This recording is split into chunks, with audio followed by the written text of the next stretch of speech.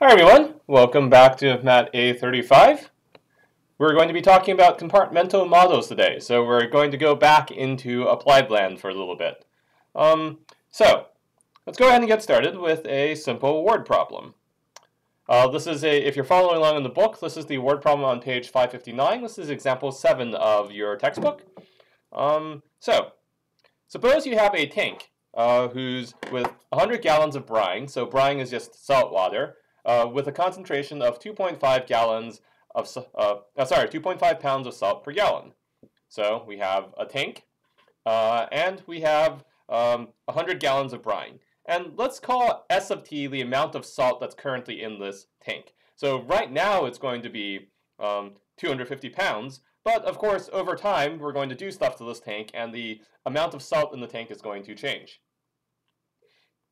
So what we're going to do is we're going to run brine containing 2 pounds of salt uh, per gallon into the tank at the rate of 5 gallons per minute. And we're going to have brine in the tank is going to run out at a rate of 5 gallons per minute. Um, and we're going to assume that the brine that's running out of the tank, that the tank is perfectly mixed. So the tank is constantly mixing so that the brine going out of the tank has uh, S over T uh, divided by 100 pounds per gallon of salt in terms of concentration. So now the question, oh, sorry, wrong way. The question here is, how does the amount of salt, S of t, in the tank change over time? So now this is a word problem, and we're going to have to figure out a couple different things, including how quickly salt goes into the tank, as well as how quickly salt leaves the tank. And these are, of course, all concentrations, so you have to divide by the amount of um, liquid that's, uh, multiplied by the amount of liquid that's going by the concentration. So let's try doing this. So uh, we're going to have um, how much salt is being added to the tank? Well, uh, let me do this in black. So we have 5 gallons per minute and 2 pounds uh, per gallon. So that means uh, if we multiply those two together, we get 10 pounds per minute of salt uh, added to tank. And how much salt is leaving the tank? Well, we do the same thing, and so we multiply these two numbers together, and so then you end up with S of t divided by 20 pounds per minute of salt added to the tank.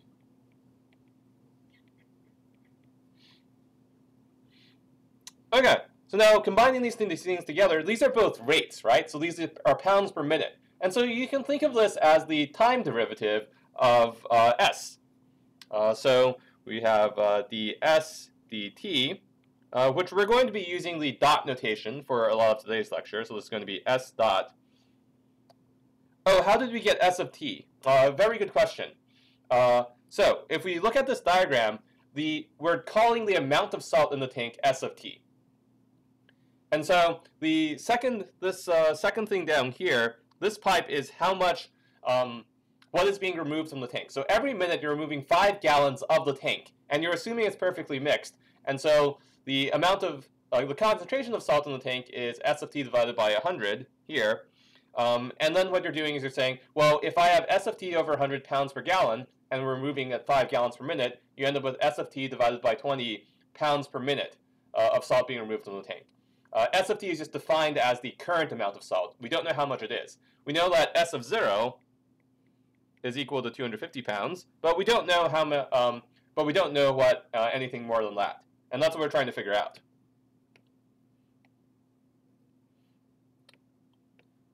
So we're, what we're going to try to figure, the way we're going to do this is going to, we're going to measure the rate of change of salt in the tank. And of course, that's just going to be, we add 10 pounds uh, per minute, and we subtract out S over 20 pounds, pounds per minute. And this gives us a differential equation, uh, this thing here. And all we have to do is we just need to solve this differential equation, and that'll tell us how much salt is in the tank uh, as a function of time. Uh, any questions? So basically what we've done is we've turned this word problem into a differential equation. And now, this is a first order linear differential equation, and so we know how to solve those. So how do we solve this? Well, let's rewrite it in our canonical form. Uh, so our standard form is s dot plus 1 over 20 times s is equal to 10. Okay, and of course this is a linear first order ODE. And here we have, this is P of x, uh, sorry, P of t, since we're using time here instead of uh, P of x. Uh, and we have Q of t. Okay, so uh, be careful. We're using the variable t now instead of the variable x. Um, this is because for many of these applied problems, we actually do care about time, and so it's just easier to use the variable t instead of the variable x. Okay, so now we can multiply both sides by dt, uh, and so like ends up getting ds plus dt times 1 over 20 uh, times s is equal to 10 dt. And this is, of course, because s dot is equal to ds uh, dt. Okay, and so now uh, what we can do is we know how what integrating factor we need to turn the left-hand side into an exact differential. And so then uh, we know uh, I of t, our integrating factor, is going to be e to the integral of 1 over 20 dt, which is just equal to e to the uh, t over 20. And this is our integrating factor.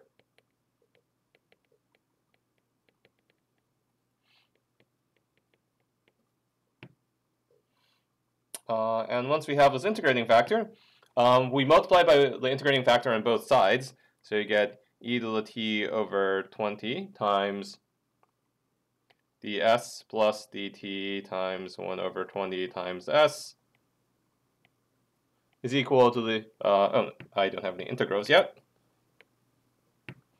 uh, is equal to 10, uh, wait a moment, what did I just do wrong? Yeah, no, that's right, 10 e to the t over 20 dt. Now, of course, now we integrate both sides. And the left-hand side is in the exact differential. In fact, from the algorithm that we described for solving linear first-order differential equations, we know that the left-hand side is exactly e to the t over 20 um, times s. And this is equal to, when you integrate this, what we get is 200 e to the t over 20 uh, plus c. And if we divide out by e to the t over 20 on both sides, that implies that s is equal to 200 plus some constant times e to the minus t over 20. Okay, and let's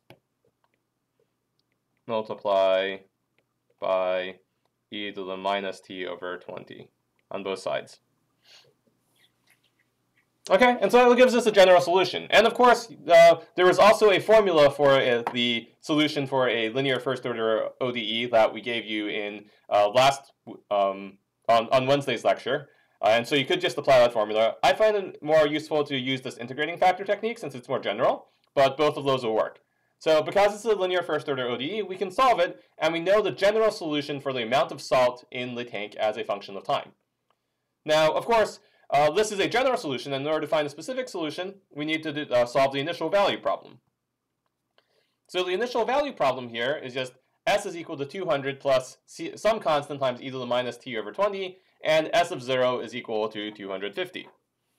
And so in order to solve this, what we do is we just take uh, 250 is equal to s of 0. If you plug in 0 into the equation on the right-hand side, you end up getting equal to 200 c e to the 0. And e to the 0 is just 1. So this is, oh, sorry, uh, there's a plus sign there.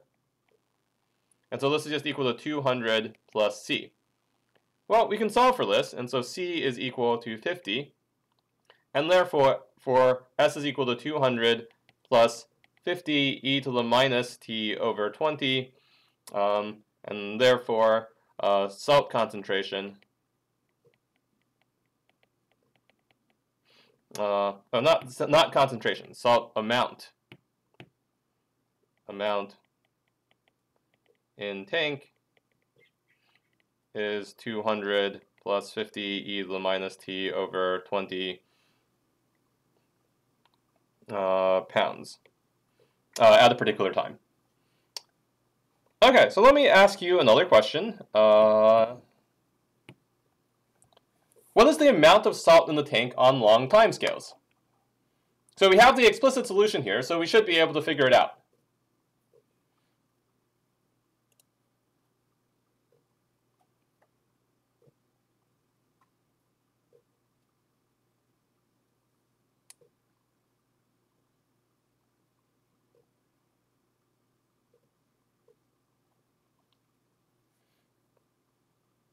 So the question as time goes to infinity, how much salt is left in the tank? Or how much salt is in the tank? You're constantly adding some amount of salt and you're constantly removing some amount of salt. Okay, so uh, yep, it looks like uh, people are replying C. So 200. Uh, this is correct. Um, uh, and you have to be careful. So this is amount of salt, not a rate. And so when remember when we did the integration, even though our units were originally in terms of pounds per minute, you're integrating over time, and so you end up with just an amount. And so the amount of salt in the tank uh, is actually just going to be 200 pounds. So the answer here is C. There's actually another way of seeing this, which uh, um, relies on the sort of analysis we did uh, for equilibria last time. So remember, uh, we can find uh, if we have an equation, let's say uh, s dot is equal to 10 minus s over 20. Well, let me do this in red, actually. So s dot is equal to 10 minus s over 20. Well, another way of solving it is to solve for the um, equilibria. So uh, 10 minus s over 20 is equal to 0 implies s is equal to 200 is the equilibrium. And now the next thing we need to do is we need to figure out whether this is a um, asymptotic stable equilibrium or an unstable equilibrium. Well, this is pretty easy to do because when you graph out, uh, let's say this is the 200 point. Oh, oops. Let's say this is the 200 point. Uh, when you graph this out, you end up with something that looks, oh, uh, if only I could draw a straight line. Life would be so much easier as a mathematician.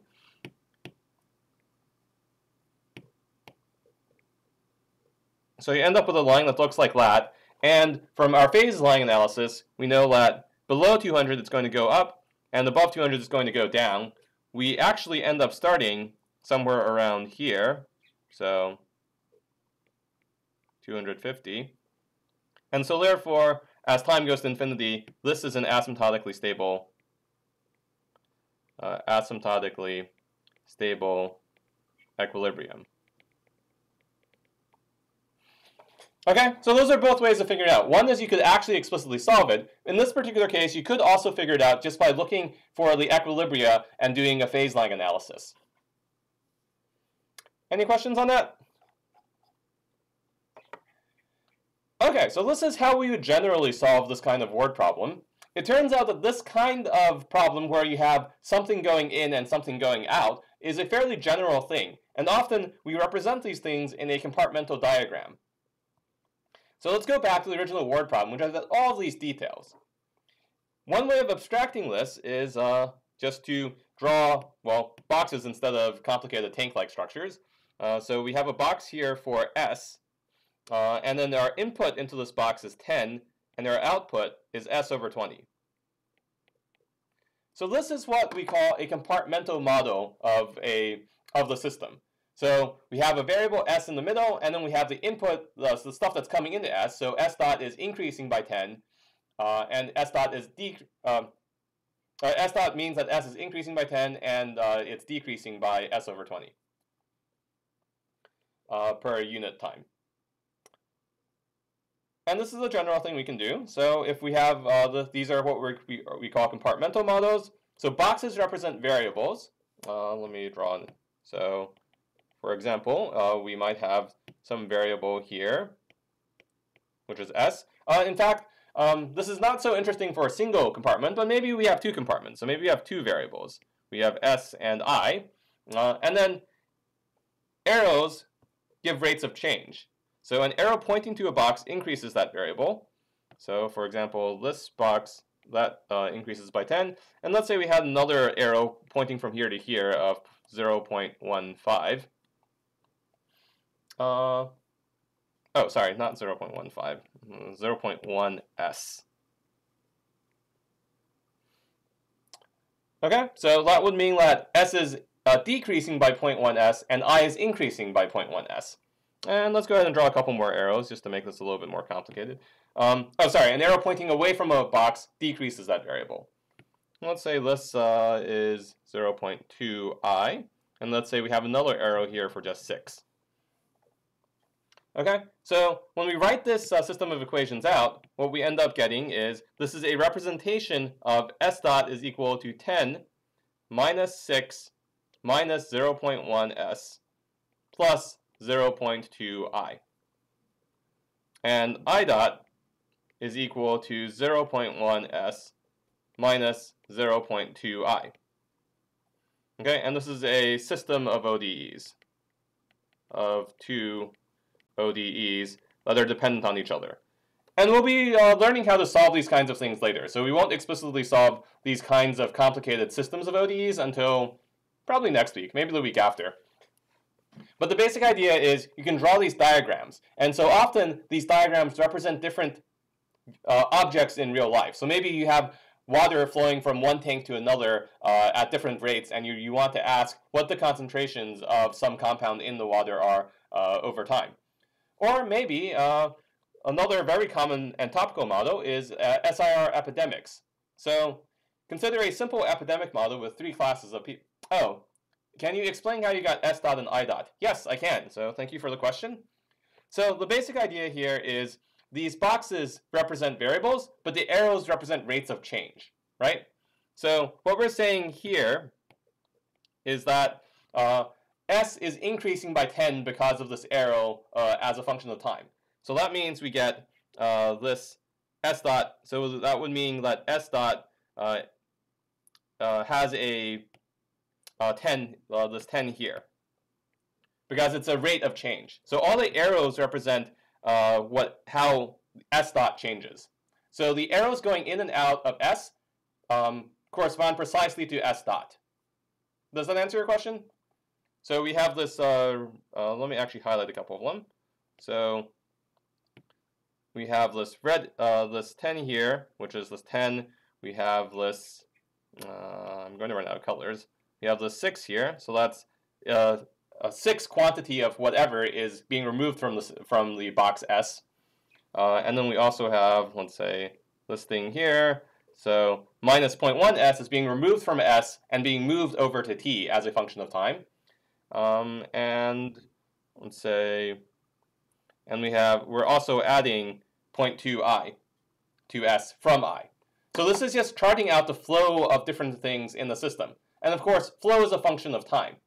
And so uh, th these arrows represent flow rates, uh, and the boxes represent uh, how the variables themselves. Does that make sense? Okay, good. So thanks for that clarification.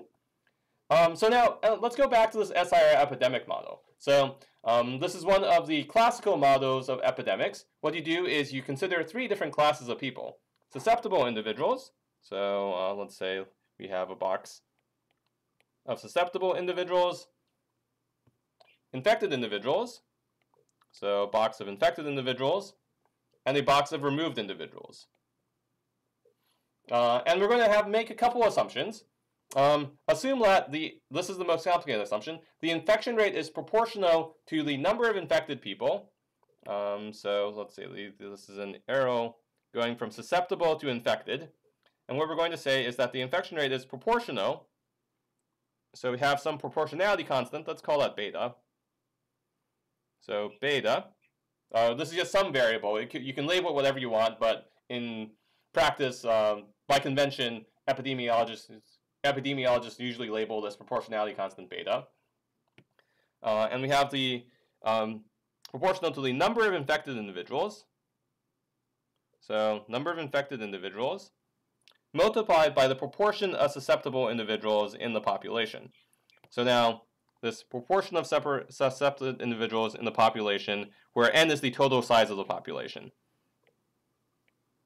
So that is times s over n. Okay, so that is our infection rate. So that's the rate of people moving from the susceptible compartment to the infected compartment. Uh, and let's assume we have a recovery rate that's also proportional to um, the number of infected individuals. So here we have a proportionality constant.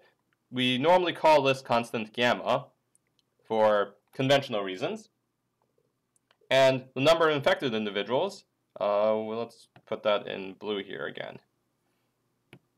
So here we have gamma times i.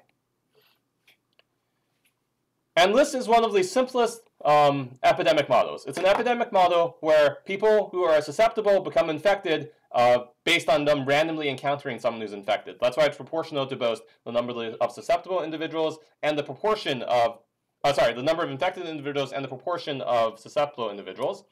Um, and then infected individuals slowly recover over time. Um, uh, so, and when they recover, they become removed, and we're assuming that they have perfect immunity for the rest of the time, and so they never get infected again. Obviously, you can change these parameters, and you can draw other arrows for more complicated epidemic models. So for example, with some epidemics, people who've recovered still can become susceptible again over time, and so they lose their immunity. So for example, something like COVID-19, people think to be uh, more needs a more complicated model because people who are removed from the pop who recover aren't necessarily immune, uh, fully immune.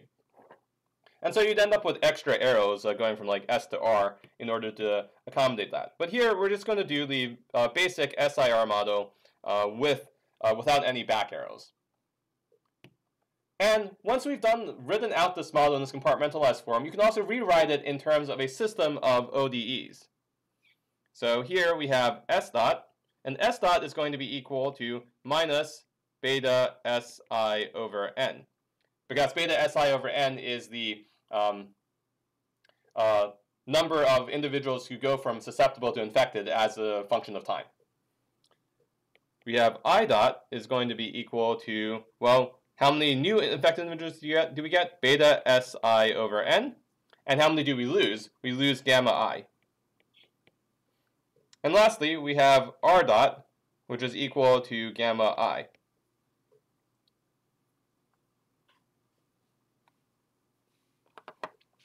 Okay, so basically, we use these diagrams to represent these uh, differential equations in an easier to understand way.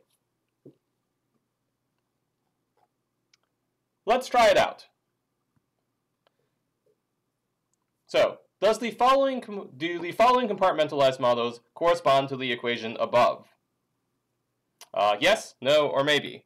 Uh, let me reset the chat and let me draw a couple boxes and well, let's see if uh, you guys. So let's say we have an A here and an arrow 4 and an arrow 2A.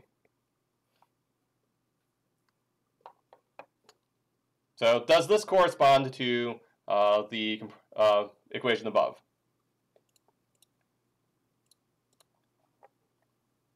Okay, it looks like people are saying no. Uh, and that is, uh, so no. Why is that? Well, when you rewrite this equation, you have a prime is equal to uh, minus 2a plus 4.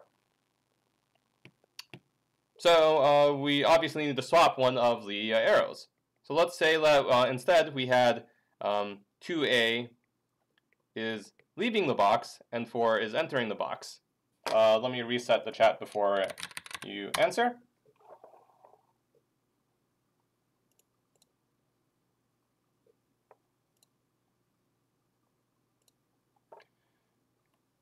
Okay, so um, the answer to that is yes. We have now flipped the arrow properly, and this is now um, uh, this does correspond to the model above. What if I make it slightly more complicated? So let's say I have A here, and we have B here, and we have 4 here, and we have 2a here. Uh, let me reset before anyone replies.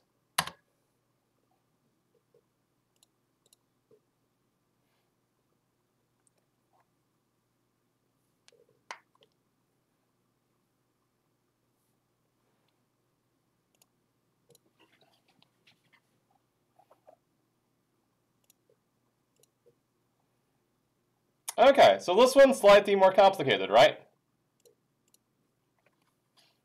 And so the answer to the list is, well, yes, it is complicated. Um, and it does sort of correspond to the box, because if you were to turn this into a system of equations, what you'd get is you get um, a prime is equal to, uh, oh, sorry, a prime is equal to minus 2a plus 4, and b prime is equal to minus 4.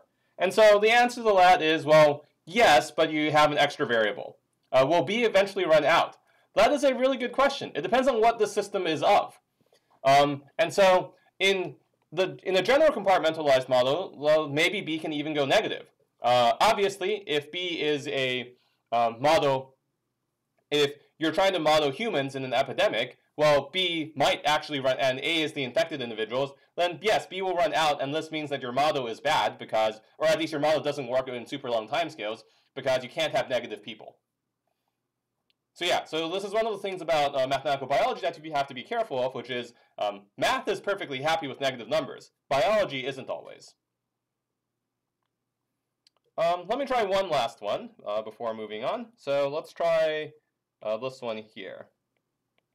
So let's say A, let's say I have 2, 2, A, A. And let me reset.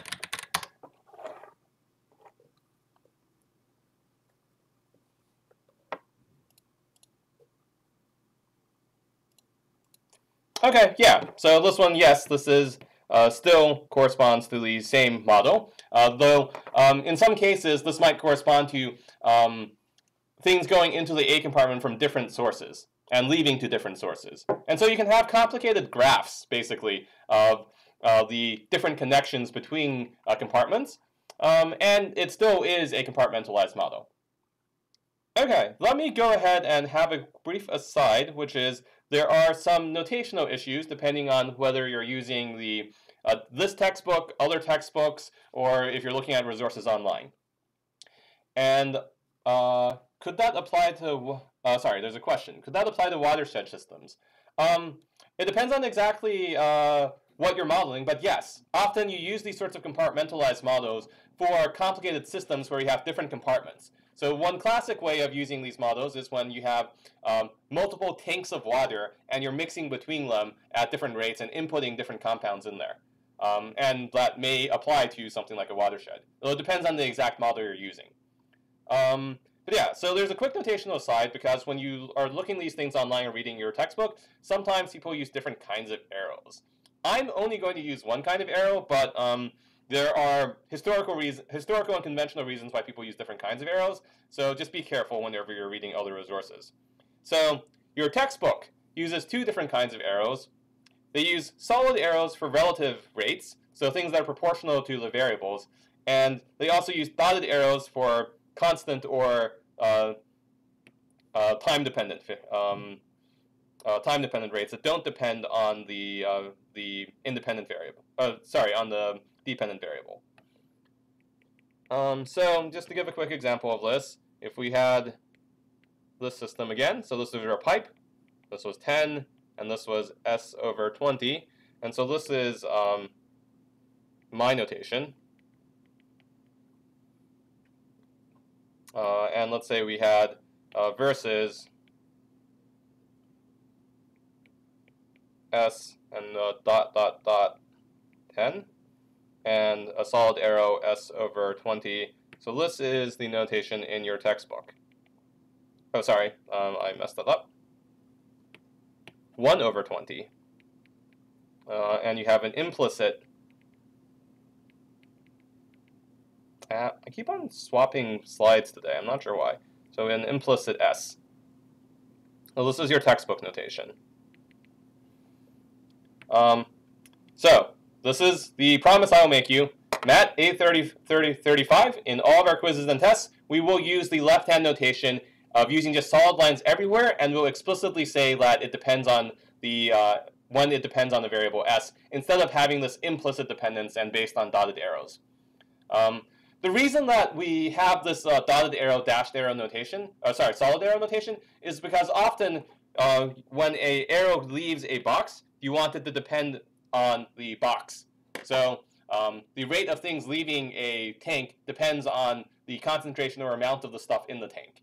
And so that's why historically we often, and conventionally, we often use these solid arrows to refer to things that are relative to that. And then we might have like dotted arrows for things that aren't relative to the amount of stuff currently there. But for the sake of simplicity, in today's, or in this class, this entire class, we will always be using the left-hand notation, and we will always be explicit about um, what variables the arrows depend on. Any questions about that? I just wanted to throw this in there in case you're reading the textbook and you're a little bit confused at the difference in notation. So I will never use dotted um, and solid arrow notation. All my arrows will be solid, and the amount I write there will be the amount. Okay, so now let's try it out. Uh, so find the general solution for the following one compart for the following one compartment model. Let me write down the model. So let's say we have a variable p here. 2 goes in, 0.2 comes out. And these are your possible answers. So what is the general solution for this fo the following one compartment model?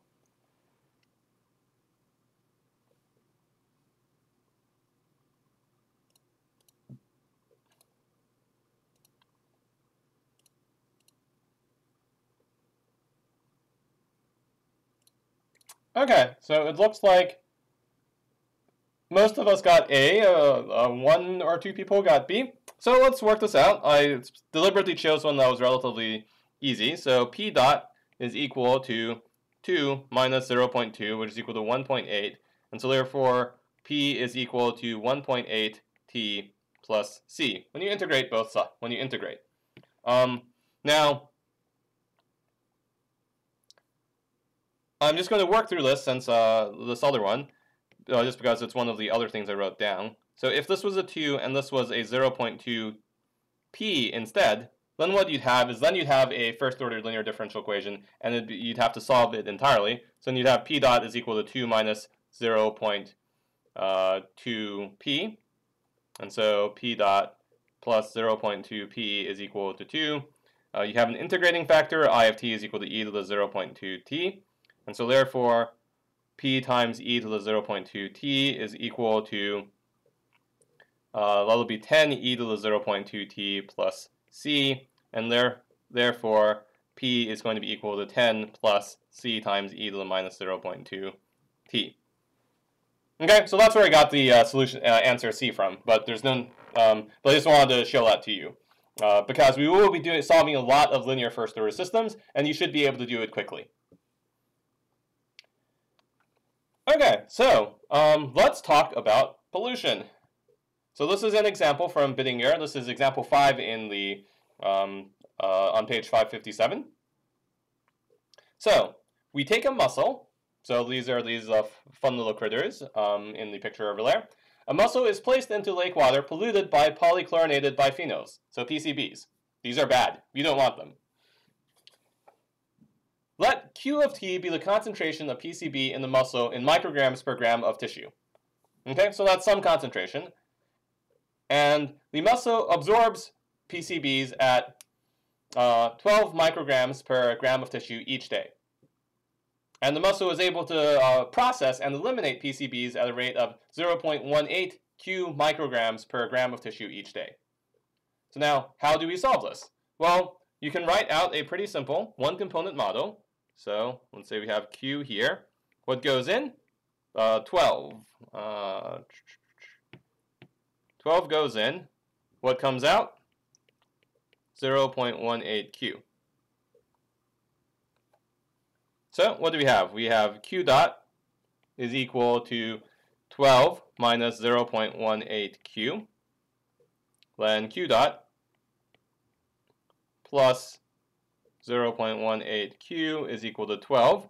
We have an integrating factor, I of t is equal to e to the 0.18 uh, t. Uh, when you uh, do, when you in because this is e to the integral of 0.18 dt, but that's just the constant, so it, gives you 0.18 t.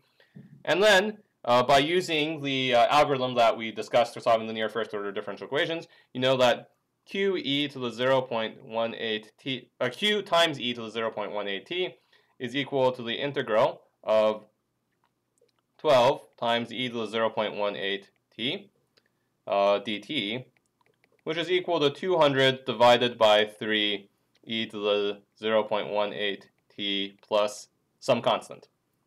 Divide out both sides, and you're left with q of t is equal to 200 divided by 3 uh, plus c e to the minus 0.18 t.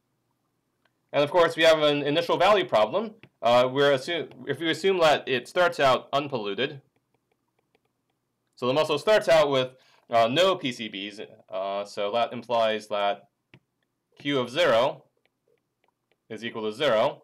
Well then, when you plug that in, you end up getting that C is equal to minus 200 over 3, and Q of T is equal to 200 divided by 3 minus 200 divided by 3 e to the minus 0.18 t. Any questions about that? Should we state that assumption on the quiz? Yes. Uh, if you if I uh, put something on the quiz and you and you're trying to figure out what the initial conditions are, you should state all your assumptions explicitly. So you should be like, well, um, I you have to assume that the if I ask you what the uh, rate is uh, specifically, you will need to explicitly state, oh, well, the mussel started out with zero uh, PCBs. Um,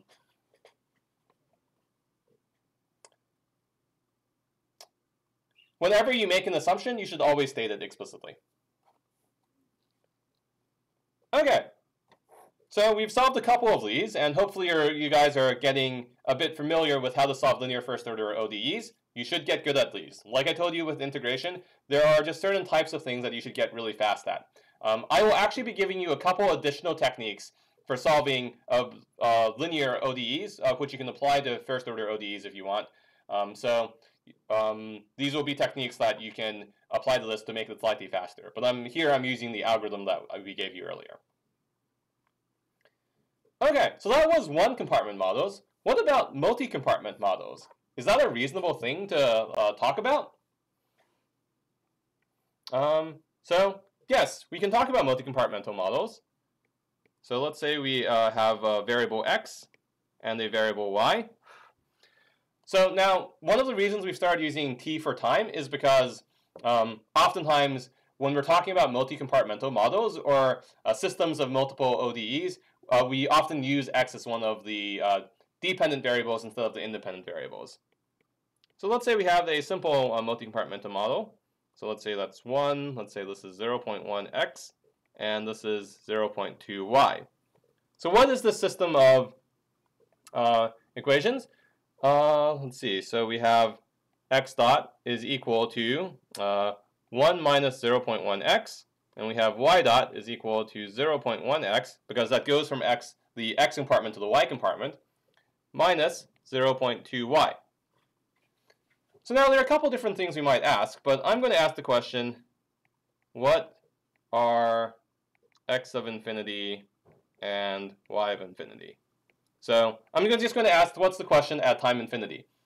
Um, and so one of the things you might notice is that the very first equation doesn't depend at all on y. And so that's just a simple, uh, that's just a single uh, first order uh, linear ODE. And so we can analyze the asymptotic stability.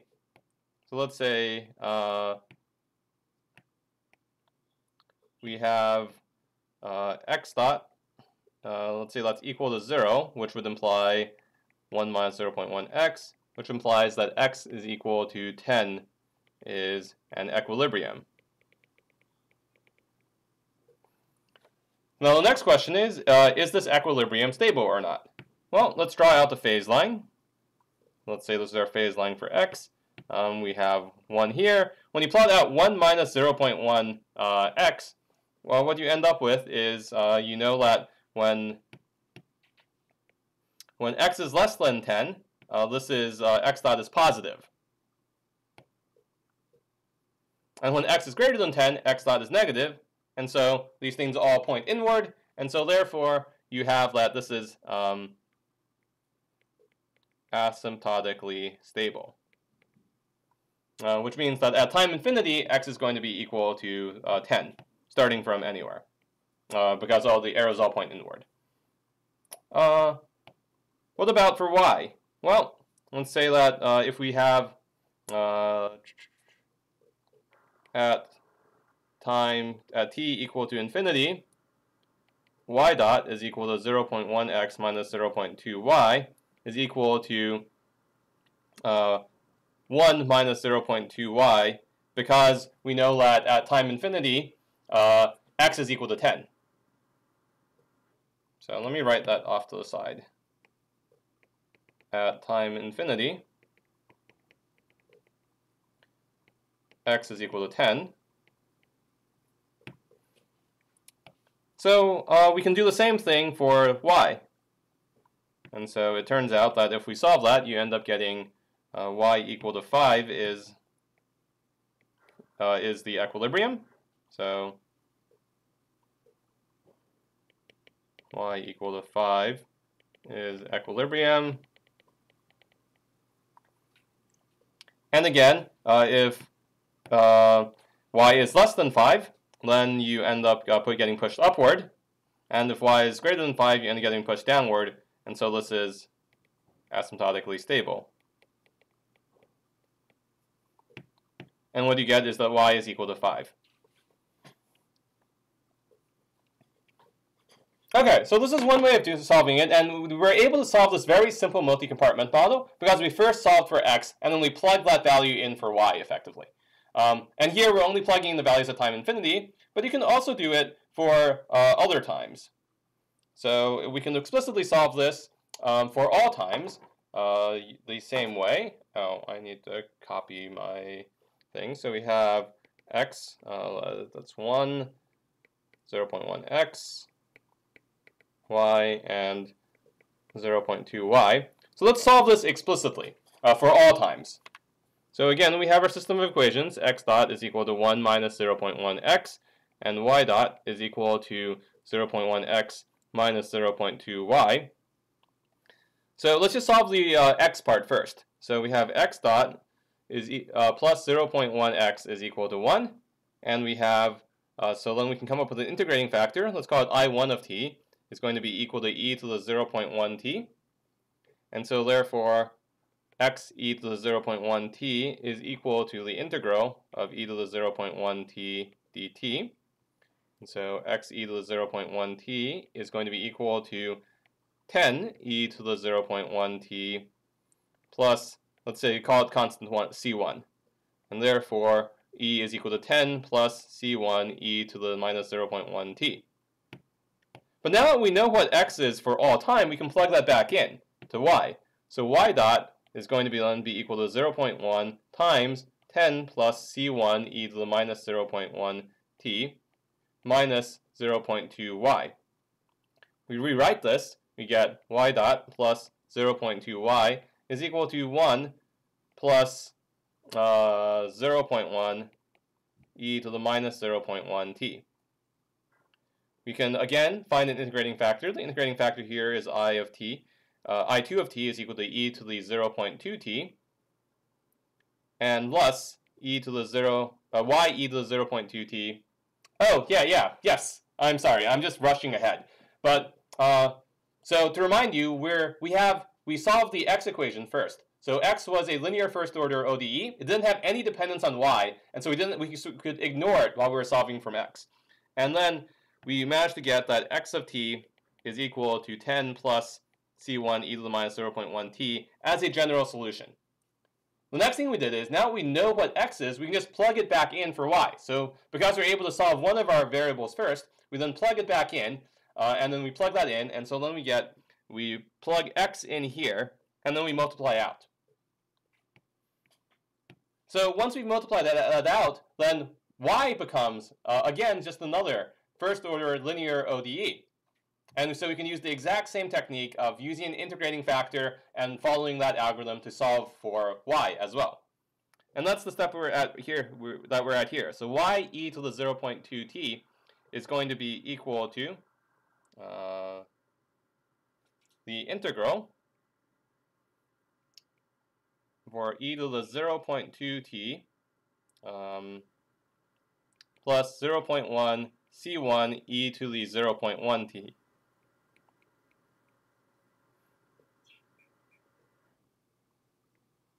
dt. And the reason for this is, uh, so you have to be a little bit careful. e to the 0.2t times e to the minus 0.1t is equal to e to the 0.1t. Right? Because you can add together uh, the exponents when you're multiplying together two different uh, exponentials. So now that's just a matter of solving that. So then y e to the 0.2t is going to be equal to 5e to the 0.2t plus c1 e to the 0.1t plus some other constant c2. So at the end of the day, we need to divide both sides by e to the 0.2t, which is equal to multiplying both sides by e to the minus 0.2t, and we end up with y is equal to, uh, let's say y of t, is equal to 5 plus c1 e to the minus 0.1t, because we've divided out by e to the 0.2t, plus c2 e to the minus 0.2t. Does anyone have any questions? So the basic idea here is we can um, understand this behavior by uh, breaking by first solving for one variable and then solving for the other one. This won't always work. So um, oftentimes, if they're both dependent on each other, then you need to actually be able to solve a system of uh, ODEs. Um, but for these very simple uh, sort of linear um, examples uh, that just go forward, you can't actually solve these by just solving for one variable first and then solving for another one. So let's try this out.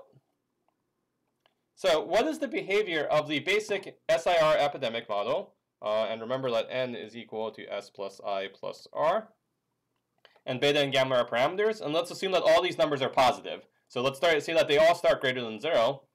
Um, what is the final result of this sort of SIR uh, model? So does everyone end up susceptible? Does everyone end up infected? Does everyone end up removed? Or some mix of the above?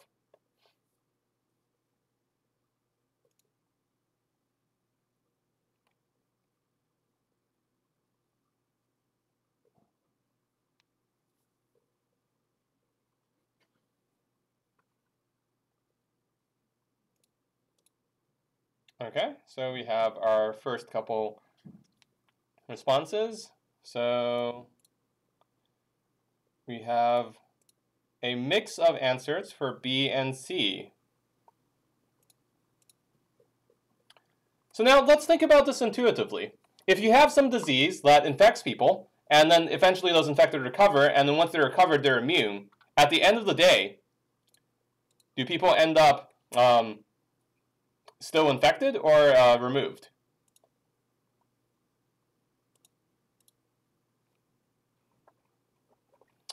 Okay, so now let's actually work this out and let's solve it step by step. So the first thing to do is uh, we, we care about time infinity. So let's just uh, plot these out on the phase line. So we have